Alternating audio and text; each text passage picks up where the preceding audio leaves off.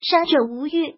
李嘉诚的商业帝国涉及地产、能源、零售、电讯、港口、电力等行业。他通过长河、长江等公司，控制了无数的上市公司，坐拥无数产业的李嘉诚，偏偏不去涉及制造业。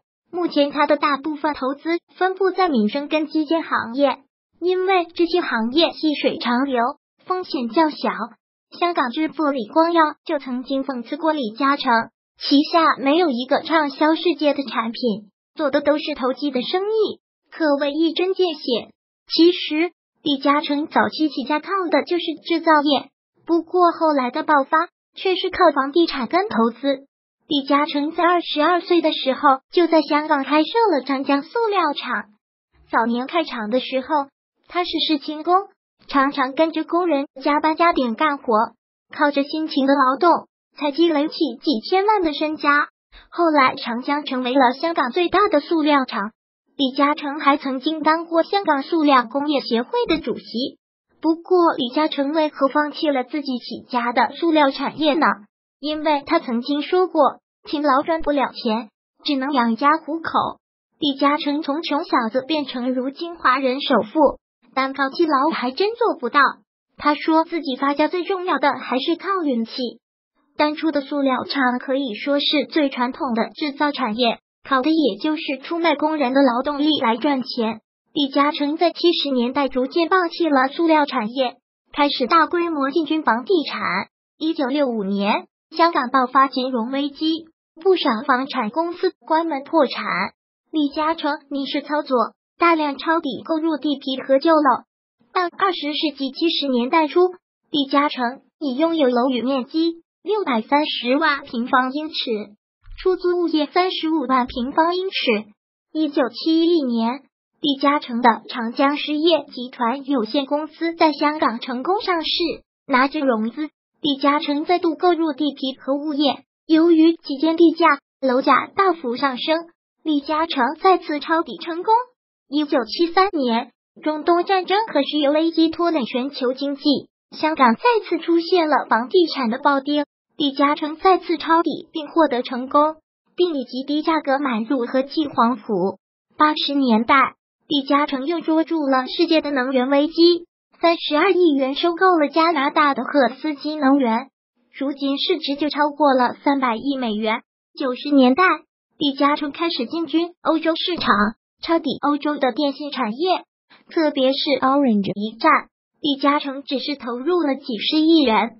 最后卖出了一千六百多亿的价格。二零零八年金融海啸后，欧洲经济陷入低迷。从二零一一年开始，李嘉诚持续从亚洲市场的高点套现，转而抄底欧洲。而对于经济数据敏感的人都知道，中国的 GDP 增长率从二零一二年开始结束了长期保持在百分之九以上的高速增长。二零一二年当年。从二零一一年的百分之九点五降到了百分之七点九，而这几年则一直在百分之七以下徘徊。从数据上看，李嘉诚几乎是在国内经济发展的最高点，开始分批从香港和大陆撤离，然后投向了欧洲。欧洲和美国的 GDP 在二零零九年 Q 一的快速下滑之后，出现了较为明显的回升，并从二零一三年开始。处于一个良性的增长阶段。如下图所示，以下红线指欧元区国家，蓝线为欧盟国家。目前，李嘉诚正在捉住人生最后的一次机会，就是从高位的中国套现，然后抄底经济低洼区的欧洲。过去五年，李嘉诚出售了中国一千五百亿港元的房地产物业，大部分资金投资欧洲，光是在英国的总投资就近四千亿港元。近年，欧盟统计局公布数据和欧元区各项经济数据屡创新高。欧盟委员会在二零一七秋季经济展望报告中，将今年欧元区 GDP 增速预期上调到百分之二点二。欧洲经济增速现在已经开启了加速模式，可以说，整个欧洲地区目前已经基本上走出了泥潭，朝着变好的方向在演进。如今，李嘉诚的两个儿子也继承了他的生意思路，低买高卖，这样的生意才是全球最赚钱的生意。做这样的生意，就必须捉住全球的经济周期，进行反周期的操作。其实中国也有一句老话：小富靠勤劳，中富靠德，大富靠命。命其实就是机遇，能抓住机遇，很大机会就能改变自己的命运。